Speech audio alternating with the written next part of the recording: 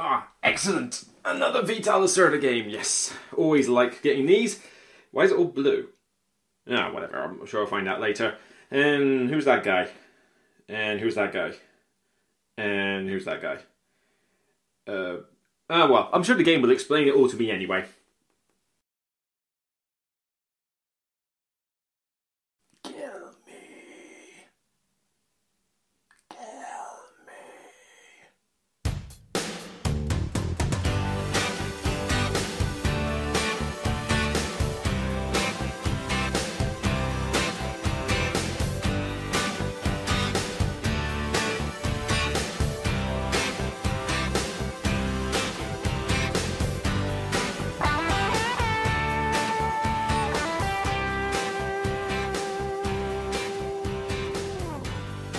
Hi everyone, welcome to another Broken Meeple review. I'm Luke Hector, and today it is a beast of a game. And this one, I think everyone's been asking me to get this one reviewed because, well, I've already been banging on about the fact that I like Vital Lacerda games.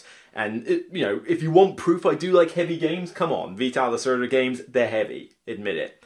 But yeah, Vinhos, top 100. Gallerist, even higher, top 100. Kanban, slightly higher than Gallerist, top 100. His games are that that perfect blend of theme being strong with mechanics that are interesting and fun. Granted, they go a bit long. They start approaching that three hour mark and it's like, oh god. But the theme is strong enough to keep me engaged for those three hours, you know, so it's not as bad as, say, some of the other games which are more drier. That's just from my perspective. So to get another one called, oh, if you want weightlifting, just take up Vital Lacerda games, they're heavy enough. Vital Lacerda's Lisboa or Lisbon or whatever you want to call it, really. There's even enough room in the camera for it. That's how big this thing is. This thing is giant. This is another game from Eagle Gryphon Games, which is this standard affair, really. Giant, long Euro with heavy mechanics and a huge dollop of theme. But we'll get onto that aspect a little bit later.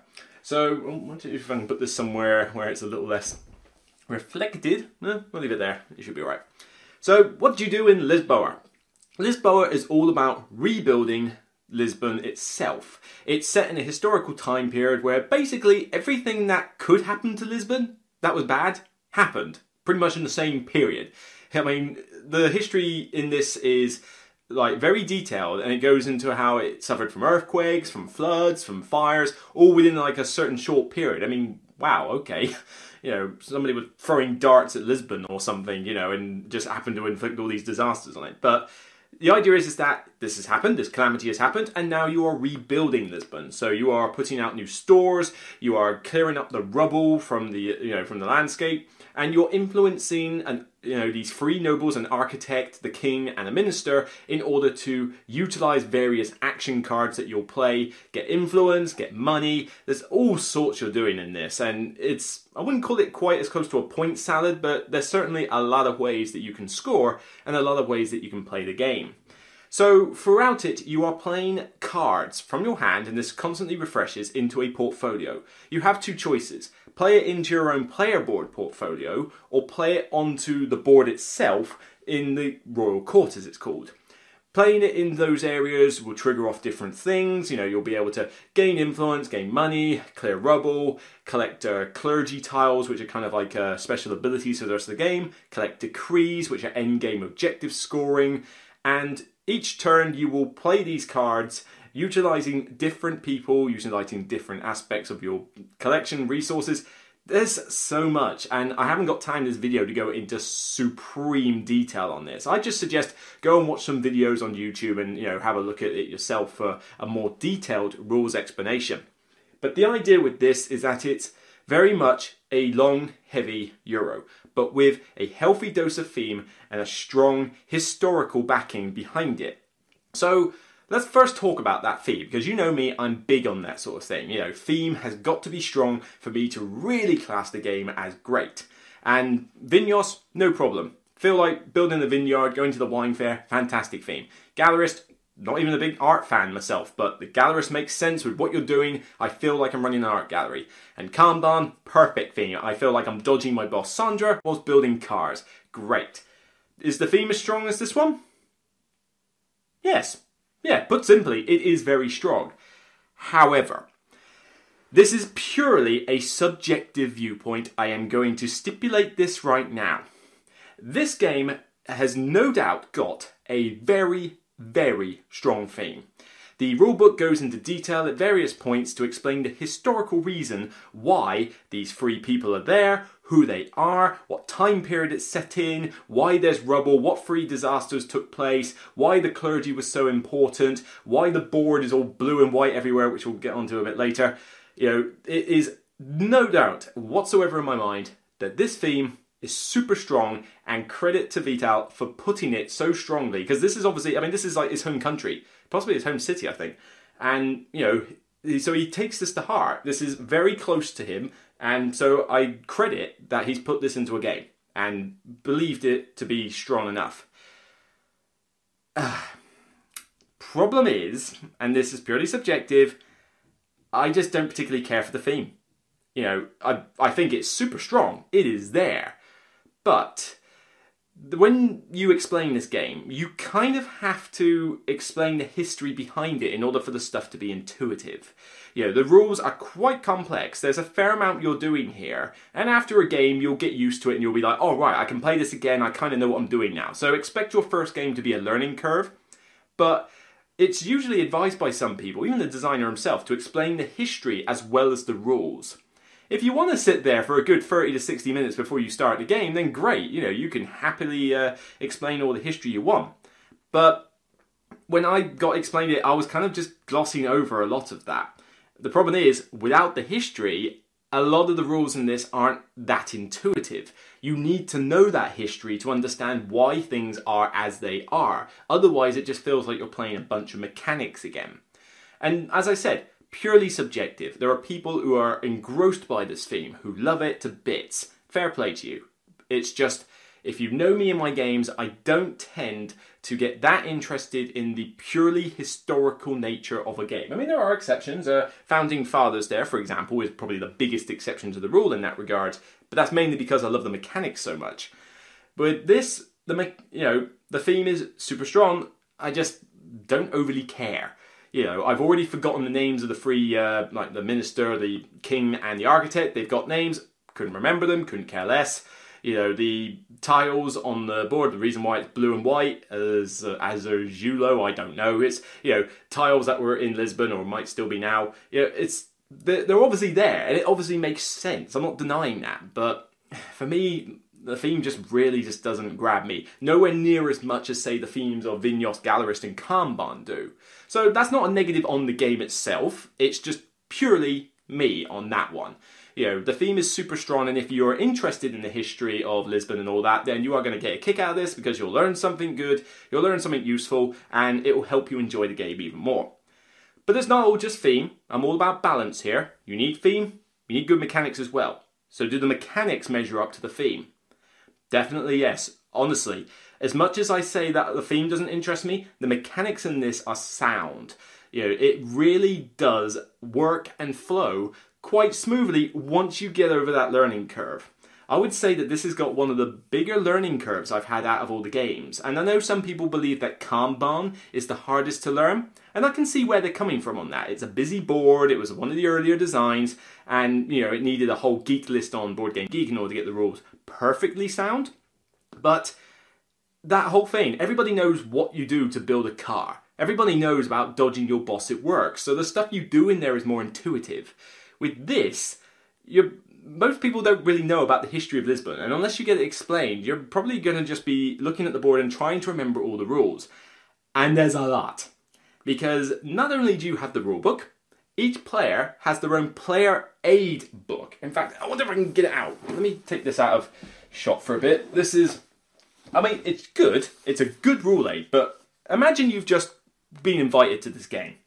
And you see somebody, you know, get the rule books out and you go, it's like, ah, there's the game rules. Okay, cool. There's a fair amount in there. Good pictorial explanation, and to be fair, it is a very good rule book. I'll give it that. I think Vital's rule books generally are actually. But then you get given this your player aid book with several pages in it. It is by no means amazingly useful. It tells you what all the clergy tiles do, what all the decrees do, what all the card symbols do. It explains the iconography, the turn sequence, what you need to get certain things. It's great. But my god, it's a daunting experience to be just given this when you get explained the game. So I will stress that you are going to have to accept that there is a learning curve to this game. You're going to need at least one game to get really to grips with how it plays, and you're going to need a good teacher. You know, I do not recommend that you try and play this with, you know, three completely new players, including yourself, and try and play this because you're going to be there for hours and hours and hours, as I found out the first time I played this. I kid you not. Four of us, three new players, one teacher was just not that great at teaching the game. This game took us over six hours. You know, and that's not even including our lunch break. It took forever. And I think an hour of that was the rule explanation. It really didn't go down well from a time perspective. But I accepted that this was mainly down to, you know, partially the teaching and four of us playing and completely new to this game. So I glossed over it and figured, oh, well, it's a learning game, it'll be better. And subsequently, it has been. I've played this with, sorry, my break, uh, two, three, and four players, and the length has typically been around that kind of three hour mark, maybe slightly longer, a bit shorter with two players, so it kind of balances out. I've never had this go less than two and a half hours, you know, it's a fairly lengthy game, but it's still, you know, that's still reasonable length and typical of Vital Lacerda's. However, I don't think I'm ever going to want to play this with four again. Because when you add an extra player, the main thing you are doing is adding time. You add little extra elements like, you know, another ship you can trade with and another player that you can copy actions from. If you remember the Gallerist, you can spend influence to copy actions. Well, you've got that in this one as well. You just use tokens and it happens less often. So, you know, that's a cool aspect. But the time of having four of you play this is just too much for me. Not to say that the game just fails at that four. It's just it reaches that plateau of like, okay, this is too long. Too many people I've got to remind the rules. Too many people checking things out of player aid books. Too many people following actions. Because remember, those are bonus turns. So as well as the four turns that everybody is having, which can take a fair while to resolve and think about what you're doing, you've also got the bonus turns. And imagine if you are the person who has, you know, just had their turn, and then the player after you has their turn, and then the other two have bonus tokens, and they both use them. They get a bonus turn, they get a bonus turn, that's his done, goes back to his normal turn, his normal turn. So that's five turns minimum. That's assuming this guy doesn't use a favour token for one of the other two. That you've got to wait before it gets to your turn, and that's assuming you haven't got favour tokens yourself. And they're not that common. You can get them, but it's not like you're going to be showered in them. So the downtime with four players just gets ridiculous. Free has been pretty good actually. Free is another sweet spot I like in Euros, and it does work quite well at free. I've actually found, strangely enough, that I love this best with two. Because I played a two player game of this, uh, you know, first off, and thought, wow, that ended quicker than I expected, and it was good back and forth. You know, one of the rows is covered up on the board, but aside from that, there's not a huge amount of difference in the setup. So I was like, oh, okay, that's cool. Let's try this again with uh, somebody else and two players. And it went exactly the same way. This is one that, you know, with good practice and the same two people, you could play this in under two hours. I feel confident you could probably do that. In, it just seems to flow really nicely. You take your turn, and by the time they've taken their turn, you've just about thought about what you're going to do. And if someone takes a bonus turn, it doesn't throw the tempo of the game too much. You know, it's not like you've got so much downtime because you've just basically had your turn you've got at most two turns to wait before it's back round to you again. So I find the two player is actually the best way to play this. And I didn't think I'd say that because normally three is my sweet spot, and I still enjoy it with three, but I seem to really like it with two. And the solo mode's not bad in this anyway. It's a bit like his other games where you have basically the Vital Lacerda AI player, and he seems to get everything and seems to have all the good stuff, and you're basically, uh, you start the ground sort of walking while he's running away from you, and you've got to basically catch him up and get more points and various uh, objectives compared to him. I've tried the solo mode in Vinhos. I am apparently really bad at it because Vital just basically wipes the floor with me sometimes and that. In this one, again, not easy. Not an easy solo mode, but it's good fun, and I do recommend you actually try the solo mode out if you want to learn the rules of the game because it does go over a lot of the mechanics, even though there are some differences because of the AI player, it's not too dissimilar from playing a two player game. So if you can master the solo mode, you're in a good position to start teaching the game to someone else. So definitely one, two, or three players really love this game. Four, just a bit too long for me, but I get if people don't mind the length, then four players, go for it. It still works. I just would rather play it with less. Moving on to components, and well, this is Eagle Gryphon, and it's one of their deluxe boxes, so you know the components in this are good. And they are. I mean, you've got a nice, perfectly written rulebook, you've got like several player aids, you've got a very chunky, thick board with artwork by um, you know Ian O'Toole, you know the same bloke who did uh, you know Vinhos Nat. So if you like his art style, you're going to get it just here. Although more on that in a minute, we'll get round to that. Yeah, you've got uh, extra boards, extra little tiles. You have got tokens galore. You've got baggies, and this is not a Kickstarter version. You could kickstart this and get like some extra sort of better looking tokens and some little miniatures and that. But other than that, there's not a huge amount of difference between the Kickstarter and the retail version, and certainly not enough that I suggest you must get the Kickstarter version. This is a retail edition. I am perfectly happy with the retail edition. I have no interest in getting the Kickstarter version. But you're getting your money's worth. And it's not a cheap game. You're talking £80 plus, and that's from a decent discount site to get this game. This is expensive. You have to know that you're going to be playing this multiple times to justify that price cost. But you're certainly getting decent components and, for what it's worth, decent artwork as well. I say for what it's worth, and again, this is purely subjective. The board is, it looks pretty and it looks colourful, but it's basically sort of pastel-like. I mean, if I can't show you well enough here, I'll put up a picture anyway, but you can see that it's got this kind of pastel style look with, you know, a lot of blue and white. You know, and the reason for that, and I'm, I'm not going to go into too much detail, but it's basically the colour of the tiles and various things that Lisbon had. So I get the historical reason for it. I'm not sure it translates as well into a graphic design for a board game though. Because the problem I've had, and several others have had when playing this, is that because the board is predominantly this blue and white texture, the colour, a lot of the stuff blends in a bit too easily with each other. You know, nothing really stands out as, you know, oh, it's this section is that, that section is that, because you're looking at it going, okay, is that part of the decoration or is that actually a space to put cards? I'm not entirely sure. And if you're playing, you know, the full board out with four of you and that, and you're trying to look over at someone else's board, you're going to be squinting a little bit trying to make out certain things, particularly the clergy tiles, which, you know, are only this big. Oh, sorry, that's the favourite token. Um, well, actually, the clergy tiles, there you go, same size. This is a clergy tile. Imagine you've got to look at about eight of these on the board that are some distance away from you, and then also notice what's on other players' boards. You're going to be straining your eyes a little bit to make out certain details on this, as I ended up doing. And I've got, I've had laser eye surgery. I've got, you know, perfect vision now, subject to dry eye, but I digress. So I'm looking at this board thinking everything kind of blends in a little bit too well, but you get used to it over time. But to begin with, uh, maybe I just wish that there was a little bit more color differentiation with the various spots, even if it was just borders, to really show that that is this section, that is a card space, that is the top, you know. I found it just blended a little too well. But again, a lot of people have also commented that they absolutely adore this style of art and think it looks beautiful. And I'm not going to say the game's ugly. No way. I mean, this is a very pretty looking board just maybe I could have done without the whole blue and white thing. I know it's historically accurate, but it just a bit of a strain on the eyes.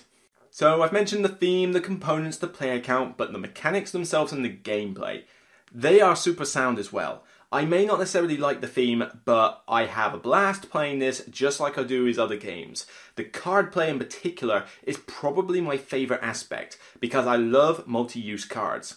And granted, there's only really two uses for a card. I wish it was free, but you know, you have this hand of cards, and playing them on your portfolio triggers certain actions. Putting them in the court triggers other actions. You know, you can either you know get rid of the cards later, or you can get more. um, when you draw at the end of your turn, you can choose which pile you want it from, and you're looking at, all right, um, that guy's the green architect dude, right? I'm gonna need to use him at some point. Ah, but the king card has got that bonus I really want. And this is typical of a lot of Vital's games now. You get a bonus for doing pretty much anything in the game. I like that system. The Gallerist had it. Every time you got a international token on the Gallerist, you got a bonus. Every time you sold a piece of art, you got a bonus. I like being rewarded for doing stuff. I don't like being punished or punched in the face for doing stuff. So that's why I don't like punishing games, um, among other reasons. But in this, you build a store, cover up a bonus, get the bonus. Uh, you build a public building, cover up a space, get the bonus. You know, collect a set of cubes, kind of weird why collecting sets of cubes is that's probably the one thematic thing that's a bit dodgy but collecting a set of three different color cubes opens up your warehouse and uh, your ability to play more cards. Don't quite get why that works but hey you know you got to throw some uh, set collection in there somewhere haven't you? But i really do enjoy the card play system. It's easily what gravitates me towards this game more building the buildings is okay you basically build them on a grid and you're looking at rows and columns which is kind of weird from a thematic perspective, but it works. You know, you're looking at whether people are going to build the public buildings around them and score yours. And I like that you score even if you've already built the building. To digress a little bit more into that, basically, you would normally expect that if you built a building and then someone built a public building afterwards, you'd miss out on the scoring because, oh, well, you were too early and they came in late. Doesn't matter. Doesn't matter if you built the building first before the public building or after you still get the points as long as they connect and match the symbol colors. So that's really cool. You don't have to feel like you're being pushed out of a race too much. It doesn't feel punishing. And I suppose that's one thing I really like about this. Yes, it's difficult to do well in. And yes, you may mess up on a turn and think, oh, I really should have done that. Ah, oh, I'm low on this. What am I going to do? But I've never felt that I'm being unduly punished. And that keeps me going even though the theme is not one I go mad over, I'm still engaged. I'm not feeling, you know, down. You know, I don't feel a downer for being unduly punished or, you know, losing too badly or anything like that. It just seems to flow really nicely. Now, it's mostly a rinse and repeat affair. I mean, the cards get better over time as the game goes on, but essentially, you build stores, you build buildings, you play the cards, and you just slightly get more cubes, you know. So, progression is ho hum. Yeah, yeah, you see the buildings build up and that, but aside from just scoring more points, there's only so much you notice that as you play. But by the time it gets to that point, you're kind of close to finishing the game, and I like that there's two ways to end the game drain certain piles of cards or collect enough cubes. The rubble cubes, basically. So that does, you know, mean that there's a good tension at the end for having, all right, I need to do this and this, but oh, if he takes that card, we're going to end this round and then only get one more round each. And that person might decide, yeah, you know what, I'm going to leave that card there. I want an extra round, you know. So you've always got to look at where who could potentially end the game. And people can pull the rug from out of you as well. So I do enjoy it. I, I think it's a sound mechanical game. So to summarise with Lisboa, theme solid. You know, I may not like the theme, you know, it may just not be for me. That's fine. I'm just not a history fan. You know, this is definitely my least favorite theme out of Vital Lacerda's games. Again, purely subjective, not, you know, not something I'm going to say about everybody who plays this. I know people who are such history fans that they just gravitate towards this, they understand it, they go with it. Great, good on you. It's definitely highly thematic and definitely very well tied in to the history that lies underneath it. The mechanics sound. It is a very cool game. I think that the learning curve is a bit high, though, compared to his other games. I, I find it easier to teach the Gallerist, even the Kanban, because yes, you know, the rule book for Kanban's not great, but people just understand that theme better. Vinhos, mm, that's got a fair bit of a learning curve, but again, people understand winemaking. It's just you don't have to be an expert in making wine to know that you have to get a vineyard and grow grapes and take the wine and that you have it at fairs. You know, people just know this stuff out of general knowledge, whereas this one requires you to have a history lesson to really understand the theme, and history lessons put me to sleep so bad. I gave up history after year 8 of school. That's how little I liked history. I really was more of a geography person. So I would certainly love to visit Lisbon, you know, and check in the culture and check out the food. I'm such a foodie when I go on holiday. But history, yeah, just not for me. It's just not my thing. So with this, great theme, great mechanics. Plays a bit too long, especially at four. Two is definitely the sweet spot. Three is fine. I like the solo mode as well, although to be honest, if you're going to play a solo mode for that long, there are other Euro games. So two or three is definitely the sweet spot. And I also have to say that the learning curve is quite steep. I mean, it's almost like vertical because you've got that big rule book, you've got that player aid book, and yes, it helps, but it's going to be daunting on your first game, except that your first game is a learning game, and if you lose, that is probably most likely the case. Because if anybody is like played this game a few times, they're going to beat you. It's just going to happen. Except that you got to learn it first, and then the next game you're like, right, I'm ready to give this a proper try now. I understand why this does this and why that does that. Let's do it. And I mean, you're not going to do it straight one straight after the other. I mean, seriously, where do you find the time? But at least when you when you bring it to the table again, you'll be able to enjoy it more there. So, out of all of Vital Lacerda's games, this one ranks somewhere around Vinhos's level. I still find Kanban to be my favourite. Yes, the rulebook is a bit ho-hum and that, but I know how to play the game. It's a great theme, it's intuitive theme because people know what goes into building the car and dodging your boss. So I still love that one. I think Gallerist is his best design because I think that's the most accessible out of his games, as well as the taking turns out of order, you know, reducing the downtime even with four players, and you know the fact that it feels like running an art gallery. The theme is super strong in that and looks the business. Vinhos is it was lower down on my top 100, but I love winemaking as a theme, and Vinhos has a great strong theme. I am talking about the 2016 version though, not the 2010 one. I have not played the 2010 one, my review was only of the 16 one. And to be honest, the 2010 just looks like it overcomplicates things way too much. You know, I think the 16 version is more looks more streamlined and plays just fine, so I'm not desperate to try the 10 version out anytime soon. Lisbon, Lisbon, whatever. Um, I would probably say this could make my top 100. It could. I think it genuinely could. But it's that theme. I'm really torn on this because, you know, if I get that. But the other themes of his games entice me more. Even the Gallerist. I'm not even an art fan and I prefer that theme. Because it's not being historical. It's more, you know, it's, well, it's art. This one, the mechanics are sound and I want to play it for the mechanics. But the theme puts me off wanting to play it too often just because I don't particularly, you know, I know it sounds bad, but I just don't particularly care about the history. You know, it's there, but I'm not interested in what the guys are called. I'm not interested in why the tiles are blue and white. You know, it's like, it's there, let me play it. So I would think this would rank a little bit below Vinhos for me, which does make it, yeah, I know it sounds bad, my fourth you know, the fourth favourite of the Lacerda games when he's only done about five or so. But all of his games could feature in my top 100. That's not small praise, okay? Out of all the games I've played, for nearly all of his games to be in my top 100 is a pretty big deal. You know, I think that even if the even with this one having a theme I don't gravitate towards, I like it enough to play that it could still be there. And I do like some dry games. Come on, Terra Mystica and all that lot. You've seen these on my on my list and my shelf. I do enjoy these sort of things. So, I think that's all I can really say, otherwise, this video is going to be ridiculously long. Lisboa is a solid game. Personally, rating probably about, I think seven's a bit low. I would probably give it an eight. You know, it is solid mechanically. I just wish it had a theme that gravitated towards me more personally, but that's purely subjective. I get that.